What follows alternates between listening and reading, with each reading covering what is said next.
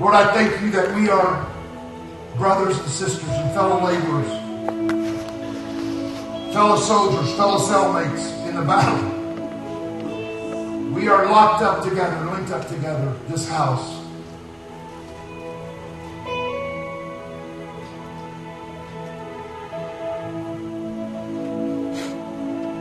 The Lord just told me to tell you that it really is a new day. That He's been pruning, He's been adjusting.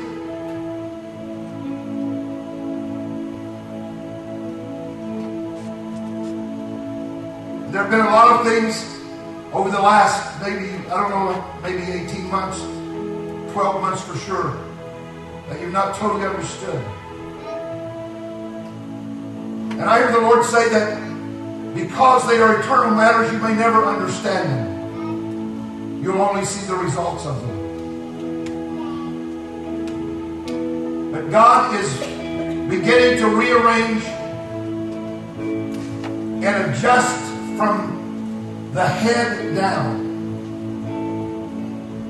There are some people about to take new positions in this house of leadership and responsibility. And God's going to show you. Some of the young men and women in this house are, they already are leading, but they're going to, there's like almost an ordination process that's going to come. And people are going to be repositioned.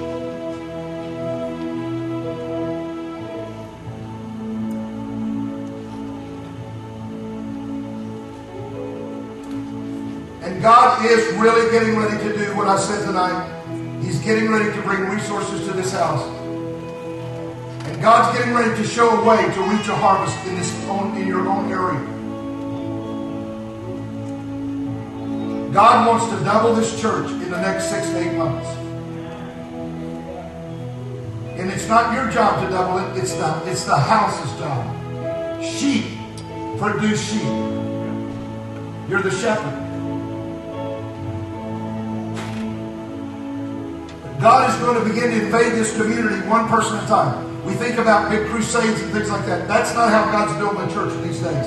He's building it one person at a time. And even the Every Home for Christ thing has given you like an understanding of that.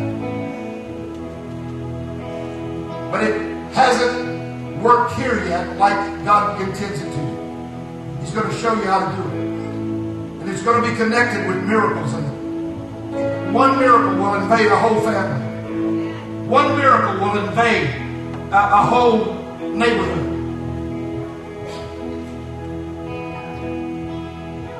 And God's going to give you a lot of wisdom. And you're going to become almost like the traffic cop in, in church.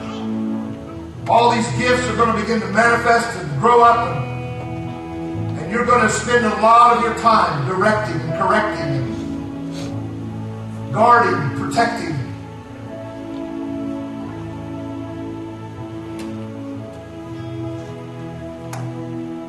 And tonight there's going to come a fresh anointing on you to shepherd the flock of God. The apostolic authority that's in your life is going to rise up. You're going to raise up a house full of pastors. You're an apostle and God wants this house to be filled up with pastors, shepherds, that shepherd the flock of God. And God's already shown you some of them. There's some that are here, there's some that are coming. And God's going to show you the wolves in sheep clothing so that you'll never let them get into the sheepfold. Because you're so nice, sometimes you just don't want to say it. But God's going to give you a new boldness when you know that's not right. And you're just going to deal with it.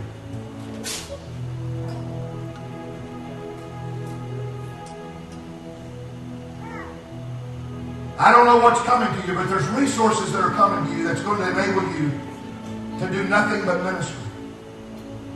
Doesn't mean you won't have your business and all that, but it, that, that, that's great because it provides jobs and things, but the ministry here is, is about to really explode. This church was at critical mass. When they split the atom, there comes a moment when the neutron beam is on the atom that the nucleus of the atom literally depresses. And it would look like that the process had failed, except the physicist understands that that's critical mass. And instead of shutting down the equipment, you turn up the power. And at that moment, you turn up the power, and that atom explodes, and it separates, and it divides, and it can light a city, it can move a ship. And this church was at critical mass. And it looked like there was something that, it looked like it was depressed. It looked like that nothing that God said was going to finish.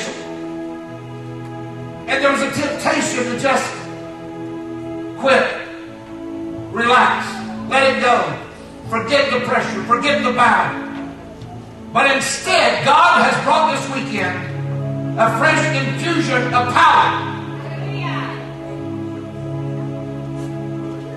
These might not seem like very powerful meetings this weekend, but they are powerful.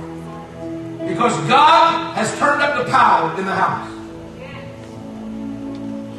And now, that which looked like it was depressed is suddenly going to begin to explode in every direction.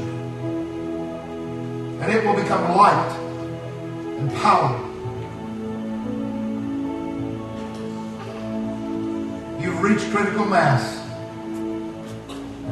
You're on the other side of it